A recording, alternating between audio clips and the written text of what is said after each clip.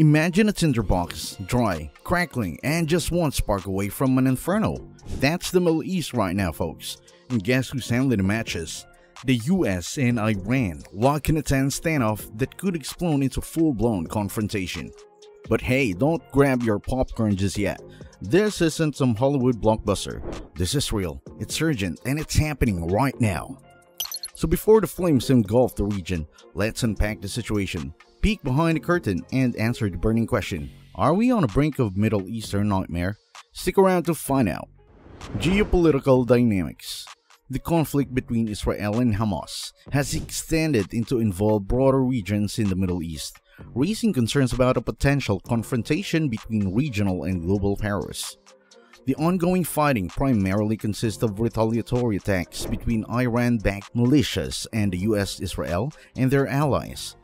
Recent direct involvement by both Iran and the US has heightened fears that the existing proxy conflict could escalate into a direct confrontation between the two. Thus far, the US and Iran have refrained from direct confrontation.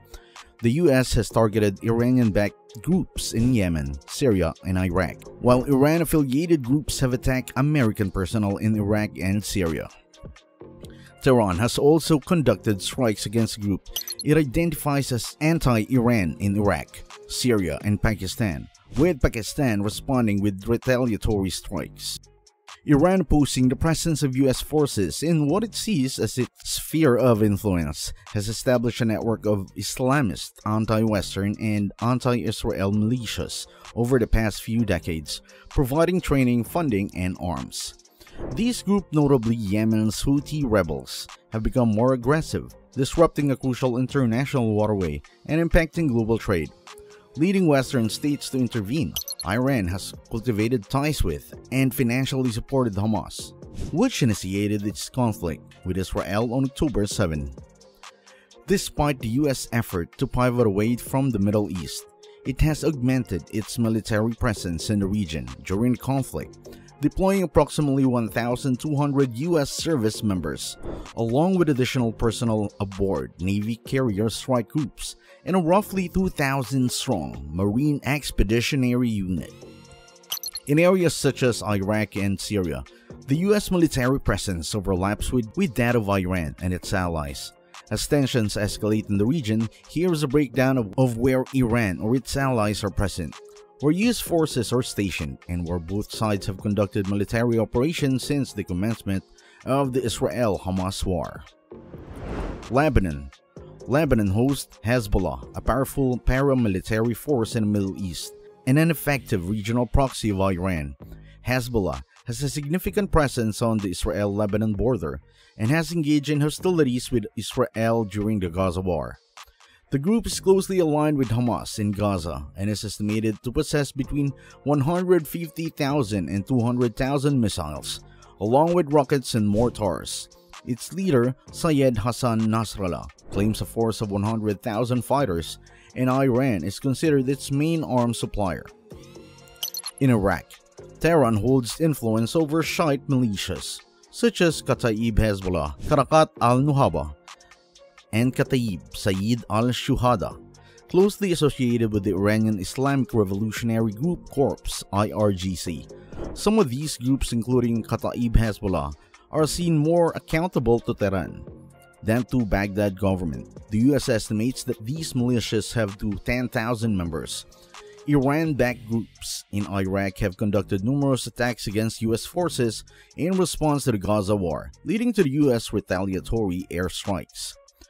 The current US military presence in Iraq involves 2,500 forces deployed at various bases, including Erbil AB, Al-Assad AB, and uh, Jok-E Union 3 base in Baghdad. Iraq's prime minister has expressed a desire for the exit of the US-led coalition, citing concerns about the country becoming a staging ground for regional conflicts. The US maintains that its military presence is at the invitation of the Iraqi government. Syria Iran has a direct presence in Syria through its Quds Force, an elite unit of the IRGC, Islamic Revolutionary Guards Corps, deployed to support the regime of Syrian President Bashar al-Assad after the 2011 uprising. Iranian personnel served as military advisors and fought on the front lines alongside Iranian-backed militias. Syria also hosts the Zainabiyun and Fatimiyun brigades, Shiite militias linked to the IRGC, recruiting Afghan and Pakistani fighters.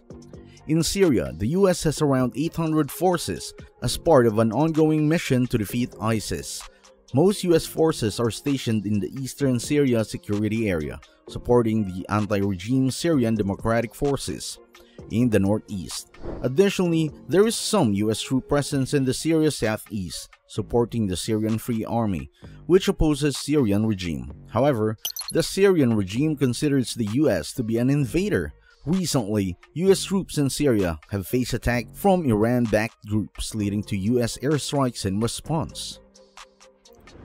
Yemen at the center of the current proxy conflict between Iran and the US are Yemen's Houthi rebels, who have intensified their attacks on ships in Red Sea, citing retaliation against Israel for its action in Gaza. The group currently controls northern Yemen, engaged in almost eight years of conflict with a US-backed and Saudi-led coalition before a temporary cessation of hostilities last year. Initially, Houthi weapons are predominantly assembled using Iranian components smuggled into Yemen in pieces. However, the group has made significant modification, leading to substantial overall improvements, according to an official familiar with US intelligence, as reported by CNN. The US military has stationed warships in Red Sea, off Yemen's coast to target Houthis' position. In December, the US formed a coalition compromising over 20 nations to protect commercial traffic from Houthi attacks in Red Sea.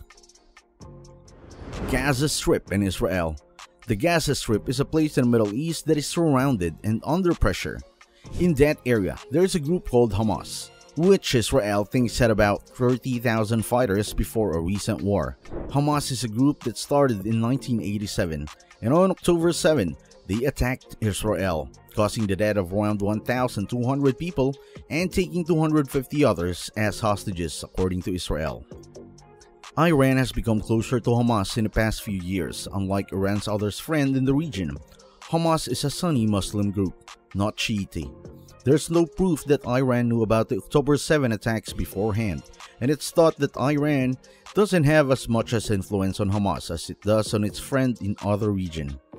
The US thinks that the Iran has historically given around $100 million per year in support to Palestinian militant groups, including Hamas and another group in Gaza called the Palestinian Islamic Jihad. On the other side, Israel gets a lot of military help from the US, with more than $130 billion given since it was founded in 1948. Gulf Arab states and Turkey the war between Israel and Hamas hasn't reached the Gulf Arab states yet, but some of these nations feel at risk because Iran-linked groups have, have targeted them before. In 2019, the Houthis attacked Saudi Arabia, and in 2022, the United Arab Emirates was targeted. The Gulf states, which are allies of the United States, have some of the largest deployments of US troops globally.